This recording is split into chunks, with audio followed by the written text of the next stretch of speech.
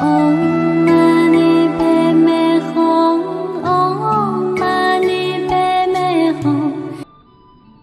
Pháp Hoa, một bộ kinh thuộc về viên giáo nói rằng mọi chúng sinh trong tương lai đều sẽ thành Phật. Kinh nói, nếu có chúng sinh lúc tâm tán loạn bối rối vào nơi tháp miếu và niệm dù chỉ một lần niệm Nam Mô Phật thì họ đều đã chứng thành Phật đạo. Khi người ta vào tháp miếu hoặc chùa lễ Phật, họ đều có sẵn lòng thành và dự tính những gì mình sẽ làm. Nhưng trong Kinh Pháp Hoa lại đề cập đến người khi vào chùa tháp mà không có sẵn lòng thành. Chỉ cần thốt nhiên niệm lên Nam Mô Phật do chỉ một lần tình cờ niệm Nam Mô Phật ấy, họ đã được thành Phật trong đời sau rồi. Tôi nhớ một câu chuyện trong một tắc công án. Khi quý vị niệm Phật, quý vị không nên niệm Phật để chỉ cầu cho mình. Khi quý vị niệm Phật, dù chỉ một niệm và hồi hướng công đức đã tích lũy được cho toàn thể chúng sinh.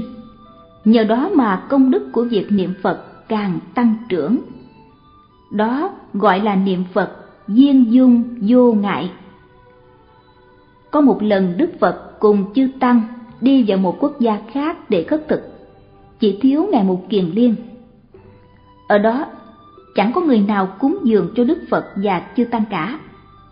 Quốc dương, các quan đại thần, kể cả cư dân cũng không ai dân cúng cho Đức Phật và chư Tăng. Thế mà sau đó, khi Ngài Mục Kiền Liên đến quốc gia ấy, thì mọi thần dân đều rất cung kính dây quanh để chào mừng và đảnh lễ Ngài. Họ thỉnh cầu Ngài cho biết cần thứ gì để họ cúng dường các vị.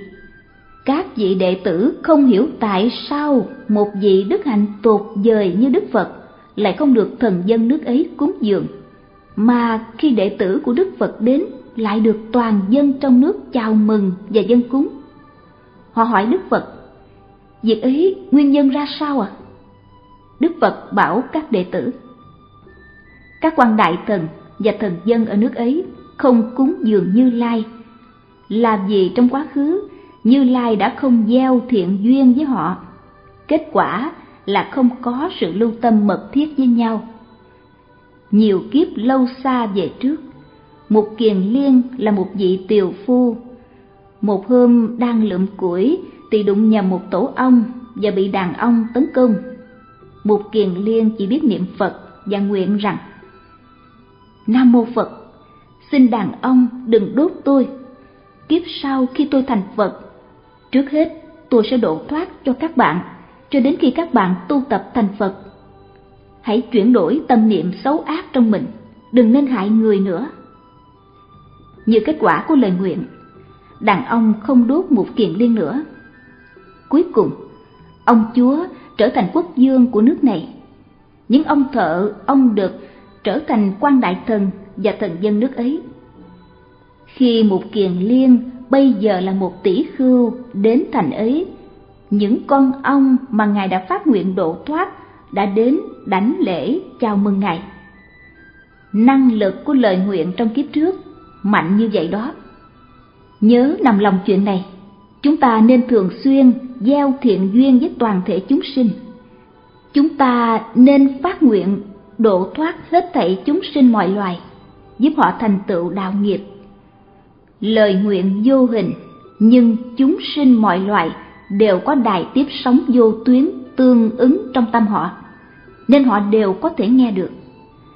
Lời nguyện tuy vô hình và không thực thể, nhưng mọi loài chúng sinh đều tự nhiên cảm nhận nếu mình phát khởi thiện tâm với họ.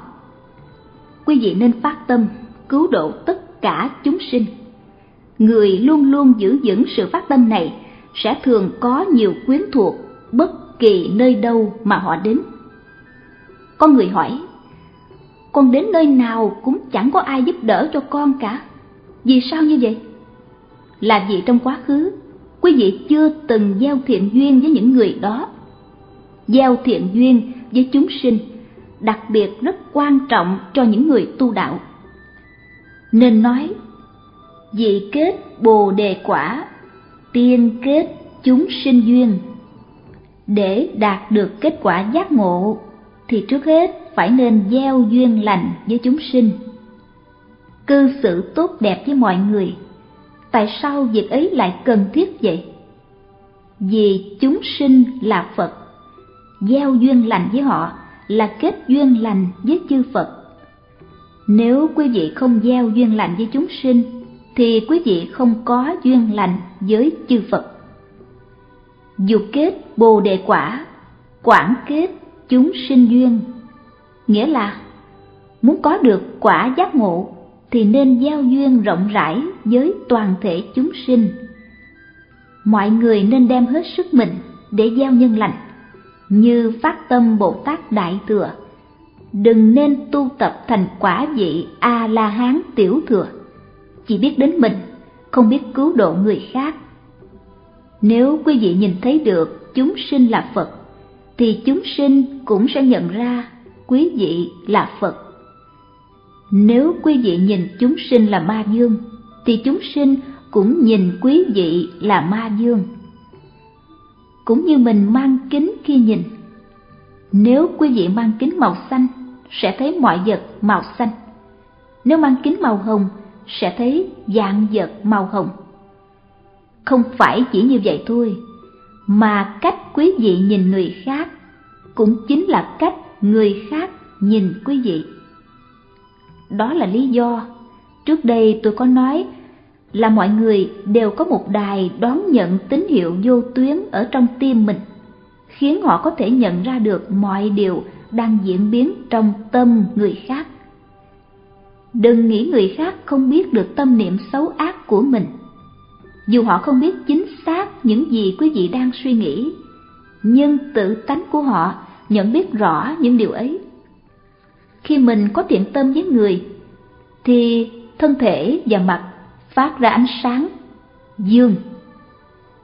Khi khởi ác tâm với người, thì phát ra bóng tối, âm nghĩa lý giáo thuyết trong kinh thủ lăng nghiêm sâu như biển. Đã có nhiều người tuyên bố đã thăm dò được chiều sâu của biển. Thực ra, chiều sâu của biển thay đổi rất nhiều, tùy theo từng nơi, nên khó có thể nói chính xác độ sâu của biển. Giáo nghĩa kinh thủ lăng nghiêm cũng như vậy. Không dễ dò chừng được. Mọi người đều đạt được những sự lợi ích riêng biệt từ trong kinh sự lợi lạc của riêng mỗi người đều khác biệt nhau.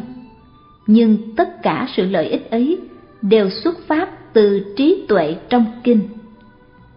Vì nghĩa lý của kinh rất sâu màu, nên trí tuệ thâu nhận được từ trong kinh rất lớn và có thể đạt được định lực rất kiên cố. Nên kinh được gọi là thủ lăng nghiêm, nhất thiết sự cứu cánh kiên cố bền vững, cứng chắc nhất trong tất cả dạng vật. Nếu mỗi chúng ta đều gặt hái được những ích lợi từ kinh, liệu giáo nghĩa của kinh có phai mờ đi chút nào chăng? Không.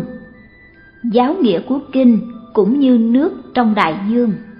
Khi có người đến bên bờ biển múc đầy một xô nước, lượng nước còn lại trong đại dương vẫn lớn như thường nếu có người dùng nước cho mục đích riêng của họ, lượng nước trong đại dương vẫn còn nhiều, không bao giờ cạn kiệt. Giáo nghĩa của kinh thủ lăng nghiêm cũng không bao giờ thăm dò hết được. Ngay cả khi quý vị đã giác ngộ, giáo nghĩa của kinh cũng vẫn sung mãn như trước khi quý vị chứng ngộ. Quý vị có thể đạt được chút ít trí tuệ, nhưng trí tuệ vốn hàm chứa tròn đầy trong kinh vẫn không tăng không giảm.